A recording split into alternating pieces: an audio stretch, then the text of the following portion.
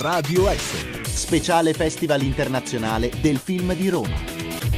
Siamo al Festival internazionale del film di Roma con Liu Bingjian, regista di Bei Mien, in inglese The Back, film cinese selezionato in concorso, e con noi Elena Pollacchi che ci aiuterà a fare da interprete. Io comincerei con una domanda diciamo, sulla genesi del film che è tratto da, da un romanzo e eh, ho letto che nella storia originale eh, era presente anche una storia d'amore, però lui ha preferito toglierla, quindi comincerei chiedendogli di questo. Eh, sì, quando ho letto appunto il romanzo dieci anni fa mi aveva colpito eh, la storia d'amore che si svolgeva in questo, appunto in questo contesto, ma ovviamente nei dieci anni eh, trascorsi incessantemente il mio lavoro è stato quello di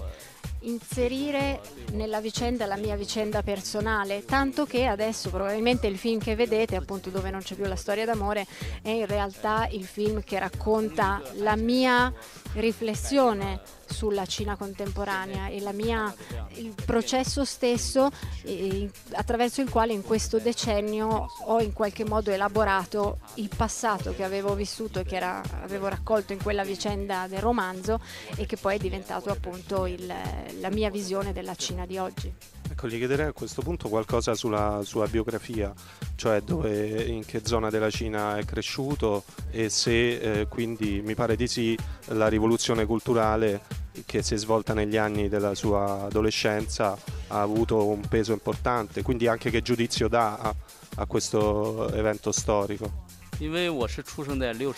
Eh, sì, io sono nato nel, negli anni 60, all'inizio degli anni 60, per cui di fatto quando è scoppiata la rivoluzione culturale andavo a scuola, ero ancora un ragazzino. E, però all'epoca appunto mi piaceva, mi piaceva molto dipingere, dipingevo continuamente, ma ovviamente quello che vedevo attorno a me, le immagini che erano ovunque sui quaderni, su qualsiasi materiale, non erano altro che ritratti del presidente Mao, che quindi in qualche modo anch'io continuavo, contribuivo a, a ritrarre. E questo è rimasto appunto in me come un, ovviamente un ricordo molto forte insieme al fatto che eh, avessi spesso la sensazione che poi se disegnavo in modo sbagliato avrei probabilmente ricevuto un rimprovero quindi non era solo eh, un modo per dipingere quello che, che volevo. Ovviamente all'epoca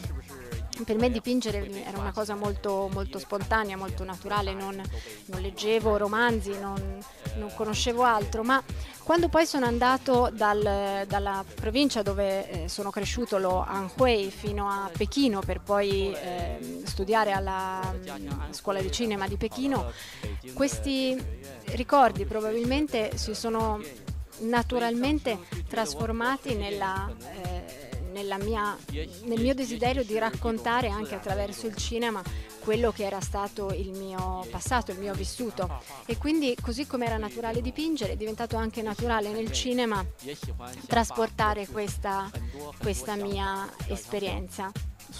E ancora appunto devo aggiungere rispetto a quanto ci diceva prima Liu Pingjian che all'epoca appunto della rivoluzione culturale, anche quando ero ragazzino, sentivamo ogni tipo di storia fino al punto da eh, sentire gente che raccontava di come si fosse cucita sul petto l'immagine di Mao. Quindi al di là del fatto appunto che il, il tatuaggio nel film possa essere